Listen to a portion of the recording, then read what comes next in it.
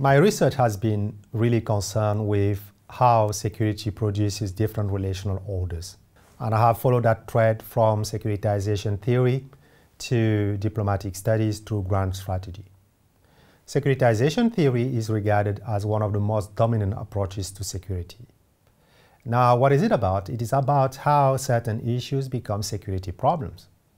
The approach I have tried to develop is called a sociological view of securitization. It focuses more on contextual factors, including emotions, history, or political regimes.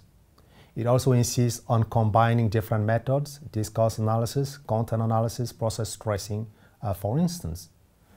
And it is agnostic, normatively speaking. I don't start with the view that securitization is either positive or negative. I think this should be decided, you know, issue by issue. And of course, in general, securitization is negative, in particular when it targets particular certain groups in a society. It could produce uh, trust disruption. It could also uh, have uh, extreme consequences on social cohesion. It could disempower certain group and empower others uh, in a society. Now, I have also been working on grand strategy. Grand strategy also is a relational phenomenon. It is how actually it's about how states uh, try to, you know, uh, balance uh, the amount of opportunity and threat they have out there and the resources that they have at hand. And they try to do that in medium to long term. Now, grand strategy has been uh, often studied in rational choice guise. Our empirical work we've done trying to compare states of different scales and size actually shows that grand strategy is not only a rational process. It involves a couple of things like emotion as well. But in particular, it's a soul searching exercise. It's a state asking itself what it is or what it wants to be, uh, now and in the future as well. The research I'm trying to do now um, uh, try to take some of these questions a little bit forward, and but in different direction. I have to I have to admit. The first one is on diplomacy, diplomatic studies, and this is where I try to use rituals as a way of revising our understanding of theories of actions in world politics. The second one is trying to develop a relational theory of grand strategy. Here, moving from, you know, the understanding and the admission that yes, grand strategy, the world is relational, to if it is, how should we study it? The third one that I'm trying to do, uh, that this is something that is really dear to my heart, is trying to uh, understand what is called the multilateralism crisis through a normative lens.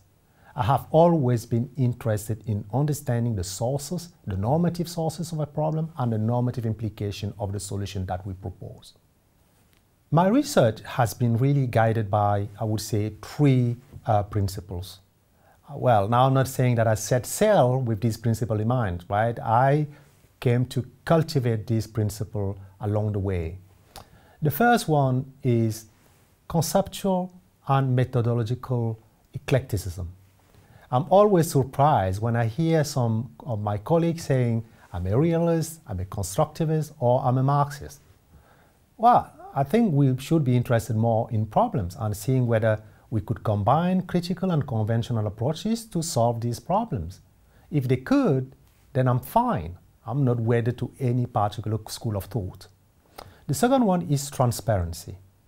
Transparency here means I have to show my colleagues and students how I went about doing what I did, which means my work would always have the theory, the empirics, but also a framework for analysis, how to do it, so that if somebody wants to try in her own context, he or she could do it and see if that you know yield similar results or different kind of result or improve on what I have tried to do or just dismantle it.